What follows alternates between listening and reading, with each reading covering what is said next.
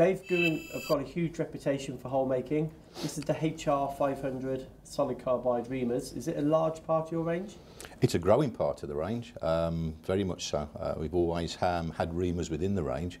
This was um, a product that we first developed a number of years ago, and it's just the whole range has just been enhanced over the for the last um, year, two years, with additional geometries, additional additional sizes, um, additional coatings, um, additional shapes where we have a, a short stubby length, which we recently launched, which is the T. Um, but the basic idea all comes about from the fact that it started with one carbide, which was a, a, a carbide that grade that was developed by Guhring. We are our own manufacturers of carbide. And um, it was a very hard grade, and we found that its ideal application was in reaming, as opposed to drilling or fill milling. Sure. And when you're reaming, getting lubrication to the end, of the, well, to the bottom of the hole, it's essential. How, how mm. do you get around this problem? Depends um, whether you are um, reaming a through or a blind hole. Mm -hmm. If you are um, reaming a blind hole, then we have a, a, an axis hole that goes right right from the from axially through the back of the shank, comes out at the front, and you'll probably see from there it's a very large mm. as it would be. So the actual the ability is that you'll be getting a lot of coolant volume. You need that because of the, the, the speed that the actual reamer runs at. You have to flush the swarf very quickly away from the cutting edge to be able to continue sure. that feed rate. So uh, with a blind hole, you have a, a large hole running all the way through.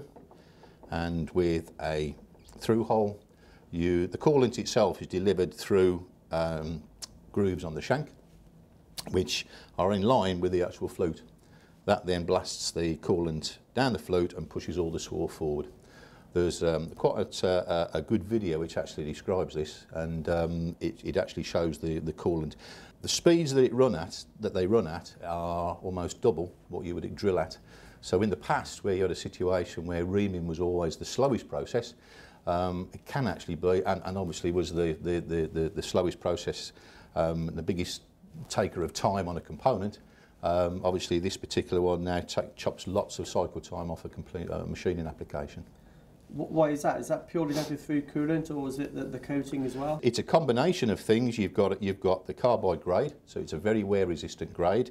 You've got a, um, a Super A um, coating, it's aluminium nitride coating, and um, again that gives it a good wear resistance on the cutting edge. And um, you've also then got the benefit of the through spindle coolant clearing the swarf as well. What are the increment, size increments within the program? The range starts at 3 millimetre and it goes through to 20 millimetre. All the nominal sizes are covered, um, but they also, on, and they've recently brought in in the last um, 12 months or so, we now do um, an O1 increment range either size of either side, sorry, of the uh, nominal size. So that's how that works. So that takes you right the way through to 20 millimetre. Um, we later came along to the HR 500T, and that particular range starts at 16 millimetres and goes all the way through to 38. So that's quite a... Yeah, and is this, is this aimed at any particular sector, like an automotive sector? It can be various, realistically, because you would then uh, be able to run it uh, in lots of different materials. We do have various different HR500s for. We have an HR500 for aluminium, one for cast iron, but the, the, the general range can cover most materials. In other words, it would cover steels predominantly, but we've also run them on some uh, heat-resistant materials and also with um, um, uh, general construction materials as well. And what happens if I need a size that falls out of a catalogue? Um, can you offer specials? Absolutely. We can, they're made as a standard blank, so we're able to modify to size.